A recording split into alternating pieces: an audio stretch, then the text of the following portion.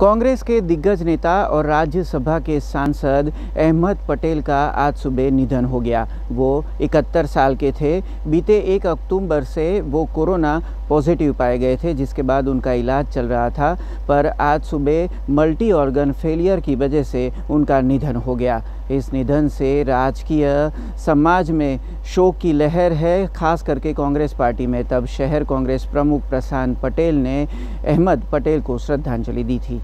ગુજરાત અને સમગ્ર દેશમાં અને ગુજરાતમાં જેનો જન્મ થયો અને યુવાનીમાં રાજકીય પક્ષ કોંગ્રેસ સાથે જોડાયા અને હંમેશા ગાંધી વિચારધારા, અહિંસક વિચારધારાને વળગીને આજે સમગ્ર દેશને વિશ્વમાં જેમનું નામ હોય એમ, અહેમદ પટેલજી આપણી વચ્ચે આજે હયાત નથી.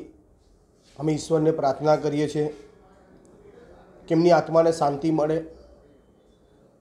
અને એમના પરિવારને આ દુઃખદ ઘટનામાં દુઃખ સહન કરવાની શક્તિ આપે. કોંગ્રેસનો છેવાડાનો કાર્યકર હોય કે નેતા હોય, એ હંમેશા અહેમદભાઈનું માર્ગદર્શન લેવા ચોક્કસ મુલાકાત કરતા હતા. જ્યારે જ્યારે મુલાકાત થાય અને એમની સાથે ચર્ચા થાય, તો મારો જ વ્યક્તિગત અનુભવ એક કહું કે જ્યારે ગૌશાળાના એ ઓપનિંગમાં આવ્યા ત્યારે વાત વાતમાં અમે કીધું કે સાહેબ, તમે આટલા મોટા દેશમાં નામના મેળવી છે. તમે એક મોટા નેતા છો, પ્રતિષ્ઠવાનો નેતા છો. તેમ છતાં તમે એક નાનામાં નાના કાર્યકરને માન સન્માનથી બોલાવો છો. એક તમારી આ એક લોકોની વચ્ચેની જે એક આત્મીયતા છે, એ આત્મીયતા બહુ ઓછા લોકોમાં જોવા મળે છે. તારે એમનું કહેવું એ હતું? કે અહેમદ પટેલ મોટો નથી. કોંગ્રેસની વિચારધારા, ગાંધીજીની વિચારધારા, અહિંસક વિચારધારા અને આઝાદ ભારતમાં જે દેશના ચાર આધાર સ્તંભ છે, ન્યાયતંત્ર, પોલીસ, પોલિટિક્સ અને પ્રેસ, આને જ્યારે માન સન્માન તમે આપો, તો તમારી પ્રતિષ્ઠા ઓટોમેટિક વધવાની છે.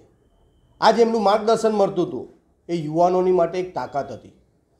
એના માર્ગદર્શનને મેં વળગી રહીશું અને અમે ઈશ્વરને પ્રાર્થના કરીએ છીએ કે એમની આત્માને શાંતિ આપે એમના પરિવારને આ દુઃખની ઘડી છે એ સહન કરવાની શક્તિ આપે.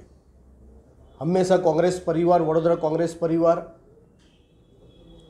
એમની વિચારધારાને વળગીને અને એમનો એક વિચાર હતો કે તમે રાજકીય પક્ષ સાથે જોડાયા છો, તો સાથી પક્ષને કોઈ દિવસ દુશ્મન નહીં સમજવાનો.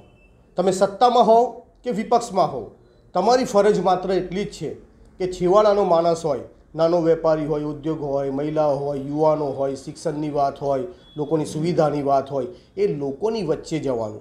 લોકોની વચ્ચે જઈને તમે સત્તા પર હોય, તો એને લોકોને સેવા પૂરી પાડવાની અને તમે વિપક્ષમાં હોય, તો સત્તા પર બેસેલાને દુશ્મન નહીં સમજવાના. સત્તા પર બેસેલાને તમે તમારી વાત મૂકો, એનું સમાધાન લાવો, લોકોને ન્યાય અપાવો, એ જ રાજનીતિ છે. આ એક વિચારધારા, આ એક એમનું માર્ગદર્શન અમને જ્યારે મળતું હતું, એ માર્ગદર્શનને લઈને આજે યુવાનોમાં એક હોશ રહેતો હતો, જોશ રહેતો હતો. અને યુવાનો એ રીતે કામગીરી કરતા હતા. આજે અમારી વચ્ચે નથી અહેમદ પટેલજી, પણ એમને વિચારધારા, એમનો જે ઉમદા વિચાર હતો, ભારતીય તરીકેની એમની તમામ જવાબદારી એમના રાજકીય કાળ દરમિયાન એમને પૂર્ણ કરી છે. સમય ના મળ્યો આગળ કામ કરવાની. કોરોનાની મહામારીમાં સંક્રમણના ભોગ લઈને આજે એમનું મૃત્યુ થયું છે. દેવલોક પામ્યા છે. તો એનું અમને હંમેશા દુઃખ રહેશે. અમે કોંગ્રેસ પરિવાર તરફથી એમને દિલથી શ્રદ્ધાંજલિ આપીએ છીએ. જય હિન્દ, જય ભારત.